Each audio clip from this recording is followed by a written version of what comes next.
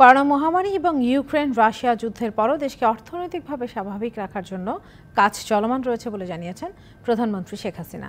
জাতির পিতা বঙ্গবন্ধুর আদর্শ নিয়েই দেশ পরিচালনা করা হচ্ছে বলে জানান তিনি। সকালে গণভবনে বইয়ের মোড়ক উন্মোচন অনুষ্ঠানে কথা বলেন সরকার প্রধান। আমরা জাতির পিতার আদর্শ নিয়েই এ দেশকে গড়ে তুলছি। বাংলাদেশ যদিও এই সেই করোনা অতিমারি বা ইউক্রেন যুদ্ধ সব কিছু মিলেও সারা বিশ্ব যেখানে অর্থনৈতিক মন্দার কবলে, সেখানে আমাদের প্রচেষ্টা হচ্ছে আমাদের দেশের অর্থনৈতিক গতিশীল রাখা। তার জন্য প্রাণপণ চেষ্টা করে যাচ্ছি এবং বাংলাদেশকে উন্নয়নশীল দেশে উন্নীত করতে সক্ষম হয়েছি।